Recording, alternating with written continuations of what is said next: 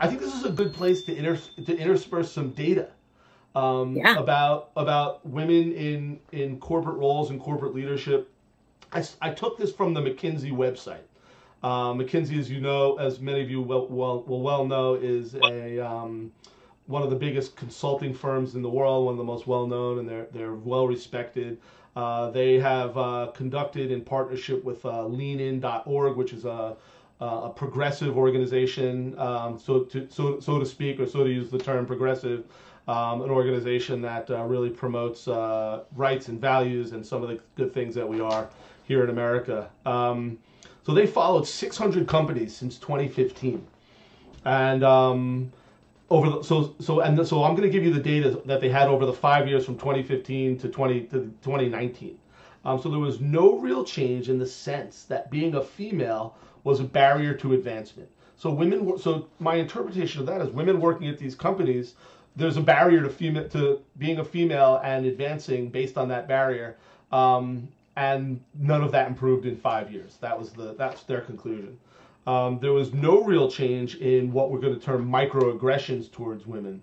Um, and I presume that's the that's you know when we talk about microaggressions towards women in the workplace, uh, we think about uh, flirting, um, inappropriate comments, um, uncomfortable comments, um, uh, even little things like, "Hey, I'm going out. We're going. The, the guys are going out for a drink after work, uh, and the guy and it's the guys, and then you instantly feel uncomfortable." So there are th- those are those are I guess some general examples of micro uh, microaggressions. Um, and there was no real change in that over five years. And remember, this is the heart of hashtag Me Too. Uh, so th- in the heart of hashtag Me Too, these two things didn't change. My, and you'd especially, you'd especially think that um, the environment around microaggressions, with all of this, you know, extra corporate training and and even just if you're, you know, if you have if you don't have two neurons to rub together and you're a male in an environment where you work with females. Um, you know, if you're not that bright, you should at least know not to do any of this stuff um, because you're going to wind up on the, the evening news. Um, and at the very and at the very maximum, if you do have two neurons rub to, to rub together, you know that they're the wrong things to do.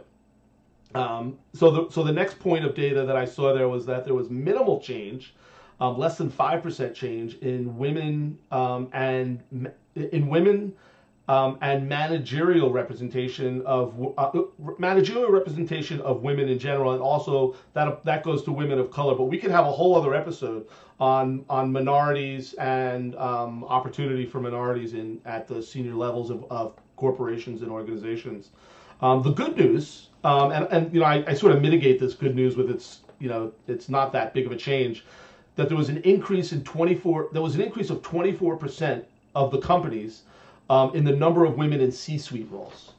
So so 24% of the companies had an increase in the number of women in C-suite roles, but that number went from 17% to 21%.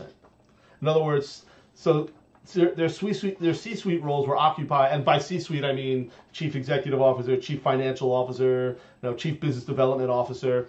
Um, those are C-suite roles, um, and those um, went from 17 to 17% of the C-suite roles were occupied by women, and then five years later. 21%. Um, and so, considering that women make up like roughly 50% of our population, doesn't seem very. Uh, so something's wrong there. Um, so there, there, it remains the fact that there's a huge underrepresentation of women in these roles, um, and the case is that for every hundred men promoted, only 72 women are promoted. Um, so those are some of the corporate. That's some of the corporate environment and corporate practices that we can discuss. Um, so anyway, back to Cindy. Knowing that data, um, let's go back to talking about Cindy because you. I mean, this is and again, I you're not you're not just starting out in a career where you're looking to become a, a, a chief executive officer or you're going to become a chief executive officer. You were doing this in the in the 90s and early 2000s when a lot less of this um, this you know I, maybe we could just call it you know sugarcoating at this point because if there's no real change then it's just sugarcoating. Um, stuff existed. So, what were some of the challenges that you faced, and was it consistent with anything I'm saying? I think, you know, some of the challenges, to be quite honest, um, had to do with age bias because when you're very young, um, I was a 22 year old um, and and able to to really make big changes. Um, getting from the physicians, the male physicians in particular, saying, "What the hell do you know? You're 22 years old and you know you, you know how to run numbers, you know." And, and instead of really looking at how is it that you came up with this information, so the curiosity to understand how did I come up with that information, I think was thrown at the wayside because of my age, because and, and quite honestly, because I was a young young gal showing up, right? And so I, I must say, Ken, I I didn't mention this at the beginning, but I think I I was really trained to do this. I was um, I'm I'm one of five kids. Uh, I had three brothers that all passed away as babies, and it was just my sister and I and my parents. And I'll tell you, my dad told me, and my mom would tell me every day, you can do anything.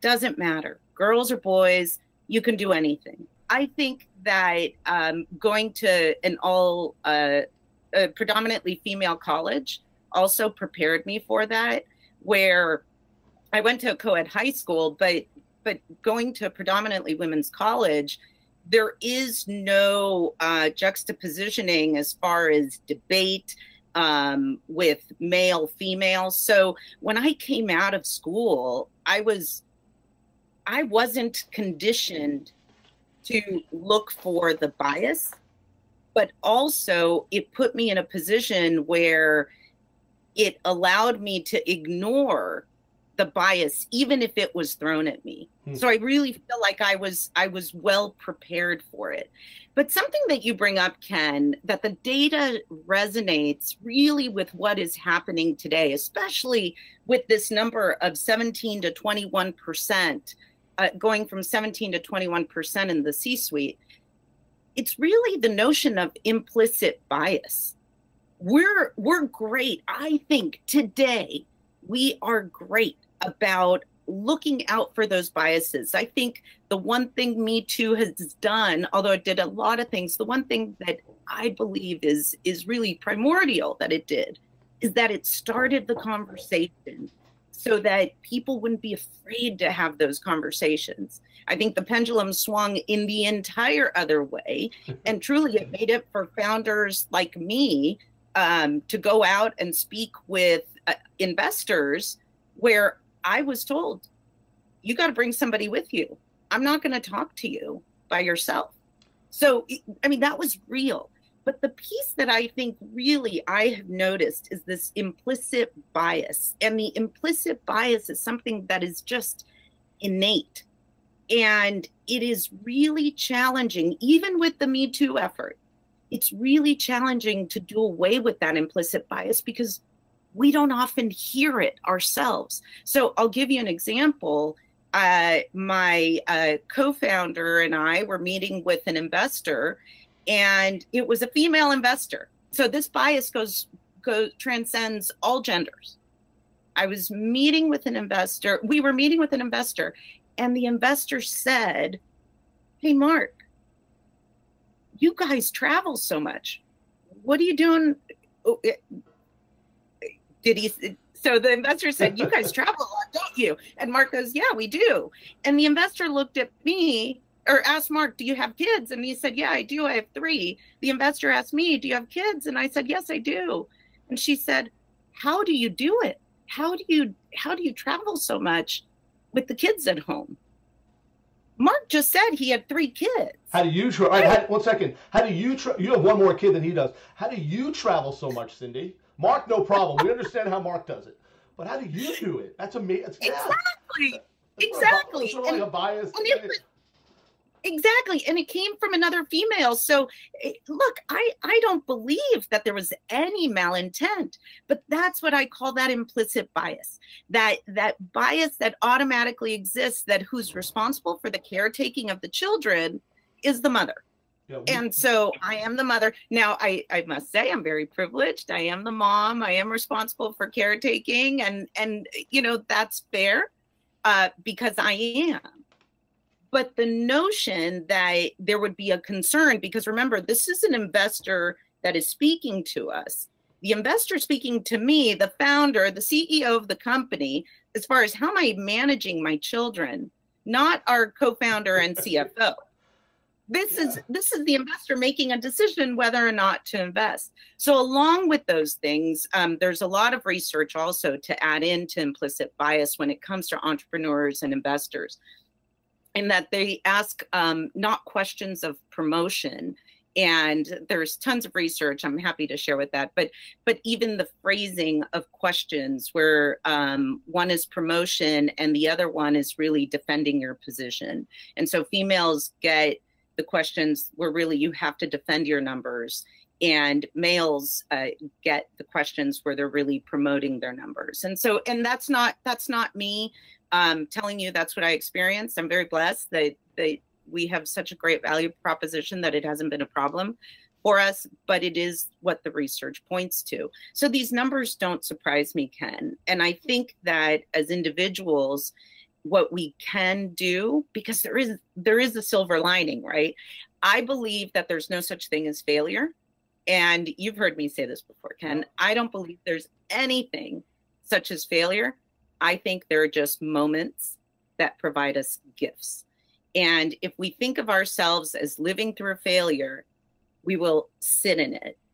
But if you think of a moment where something didn't go the way you expected it to, and you actually look at it as a gift, then you come out on the other side feeling blessed, feeling grateful for that moment that occurred. So going back to what we were speaking of, what's the silver lining in all this? That what's the silver lining in this bias that we're seeing? It's that there's growth potential. It's that the women out there, the parents out there have the opportunity to rise above. We have the opportunity to create a culture where we're promoting other individuals to come together and create a better experience as we all grow into our careers. The idea is that you can do anything you want to do and teaching others that that is in fact true that you can do anything you want to and and living those values that's the silver lining. That truly is the silver lining and i think for women why is that the silver lining? Because men have also been compartmentalized men are when you think of a carpenter how many times do you say he when you think of a plumber how many times do you say he when you think of a physician, even, Ken, how many times does that happen, right? Where we just hear the word he. So it, men have also been compartmentalized. And so I think that it really gives us the opportunity to rise above, to create a new conversation where we say, you can accomplish anything, anything is possible. And really creating that, believing that for yourself.